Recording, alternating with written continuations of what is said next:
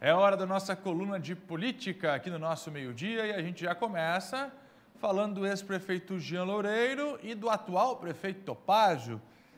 Está tendo um atrito aí, Roberto? Olha, eu não Boa diria tarde. que está tendo um atrito. Boa tarde de novo. Está tendo um grande atrito, porque eles estão, inclusive, usando porta-vozes para se defender. Liga para um, não atende, liga para outro, não atende também.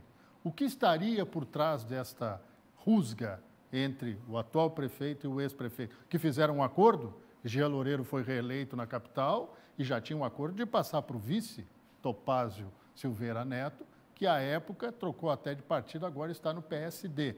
PSD, guardem bem essas três letrinhas. Está causando no momento na política de Santa Catarina. Muito forte dentro do governo de Jorginho Melo, muito forte dentro do governo de Lula e muito forte dentro da prefeitura de Florianópolis. Pois bem, o Jean queria que o, a mulher dele, a Cíntia Loureiro, que é arquiteta, assumisse a secretaria da infraestrutura de Topázio. Topázio não aceitou. Constâncio Maciel, homem conhecido, secretário da Fazenda, retornar ao cargo pelas mãos de Jean num pedido para Topázio. Topázio também não aceitou. O problema é que, vamos usar aquela famosa retórica, rei, rei morto, rei posto, rei posto, rei morto. Então, Rei morto, rei posto. posto.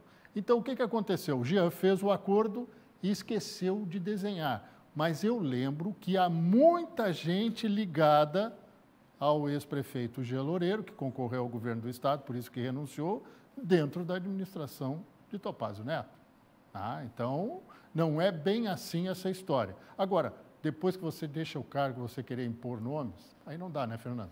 Pois é, esse acordo deveria ter acontecido antes, já que foram tantos acordos. Como diz Mas qual a o- ideia de, de Jean trazer a ex-primeira-dama para o cargo de infraestrutura? É é pra manter Continuar nos força- bastidores? É para manter força política. Porque, na realidade, isso tem que ser dito e redito muitas vezes, a administração de Topázio é a administração de Jean Loureiro, eleito no primeiro turno para comandar a capital do Estado.